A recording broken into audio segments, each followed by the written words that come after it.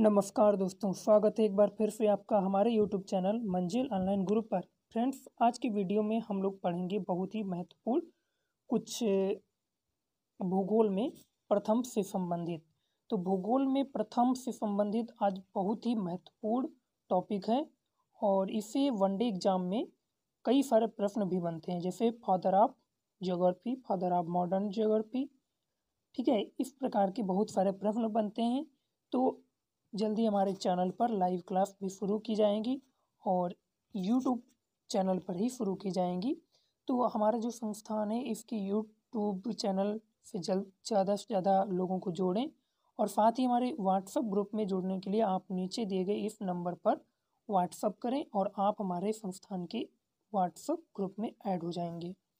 ठीक है तो चलिए शुरू करते हैं, देखते हैं आज का क्या है भूगोल में प्रथम। तो सबसे पहले तो आपको ये बताएँगे कि जियोग्राफी शब्द जो है तो आज जो पहला है, वो है जियोग्राफी शब्द के प्रथम प्रस्तावक। यानी कि सबसे पहले जियोग्राफी शब्द किसने दिया? तो जियोग्राफी शब्द के प्रथम प्रस्तावक कौन है? इरेटो स्थनीज हैं। कौन है? इरेटो स्थनीज। जियोग्राफी शब्द के प्रथम प्रस्तावक कौन है? इरेटो स्थनीज हैं। दूसरा जो है, भूगोल के पिता, फादर ऑफ़ जियोग्राफी। तो भूगोल के पिता, भूगोल का पिता किसे कहा जाता है? हिकेटियस जो है, इनको भूगोल का पिता कहा जाता है। किसको? हिकेटियस को भूगोल का पिता कहा जाता है। तीसरा जो है, वो है आधुनिक भूगोल के पिता कौन है? तो फादर ऑफ़ मॉडर्न जियोग्राफी। तो इसके कौन है? Alexander von Humboldt. Alexander von Humboldt जो हैं, आधुनिक भूगोल के पिता कहे जाते हैं। ठीक है? तो प्रश्न इन सबसे पूछा जा चुका है और पूछा भी जा सकता है आने वाले समय में एग्ज़ाम्स में। तो पूरा वीडियो ध्यान से देखना, लास्ट तक देखना, बहुत शॉर्ट वीडियो है, ठीक है? चलिए, अगला देखते हैं। आधुनिक खगोलिकी के पिता, आधुनिक खगोलिकी के पिता, आधुनिक खगोलिकी के पिता किसे कहा जाता है? निकोलस कॉपर निकस को कहा जाता है। किसको कहा जाता है? निकोलस कॉपर निकस को आधुनिक खगोलिकी के पिता कहा जाता है। चलिए आगे बढ़ते हैं। मानव भूगोल का पिता किसे कहा जाता है? तो मानव भूगोल ज्योति जिसके अंतर्गत हम मानव से संबंधित अध्ययन करते हैं, मानव की प्रजातियों का मानव से संबंधित हर एक चीज़ पर अध्ययन करते हैं, ठीक है? तो मानव भूगोल का पिता किसे कहा जाता है?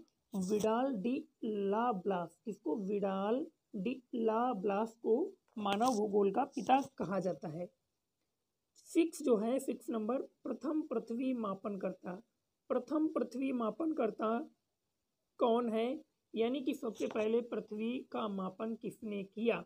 तो वो है इरेटो स्थनीज इरेटो इरेटो स्थनीज को क्या कहा जाता है? प्रथम पृथ्वी मान मापन करता इरेटो स्थनीज को कहा जाता है। सेवेंथ नंबर जो है, विश्व ग्लोब के निर्माता। जो विश्व का मानचित्र हम लोग पढ़ते हैं पृथ्वी का बीच में कर, बीच में भूमध्य रेखा, ऊपर कर्क रेखा, नीचे मकर रेखा, ठीक है, नॉर्थ पोल, साउथ पोल, ये इसका जो फिर देशांतर होते बहुत सारे तो इस प्रकार से ये जो मैप बना, इसको सबसे पहले किसने बनाया? तो सबसे पहले किसने बनाया? विश्व की ग्लोब के निर्माता कौन है? Martin Behaim.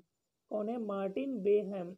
मार्टिन बेहम जो है, विश्व ग्लोब के निर्माता हैं। यानी कि विश्व का जो मानचित्र है उसका निर्माता कौन है? मार्टिन बेहम है। चलिए, आगे बढ़ते हैं।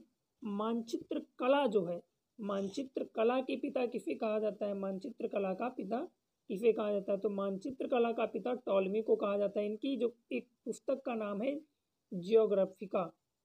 क्या है? जियोग्राफिका। ठीक है? जियोग्राफी इनकी एक पुस्तक का ही नाम है। ठीक है? तो मानचित्र कला के पिता किसे कहा जाता है? टॉलमी को कहा जाता है।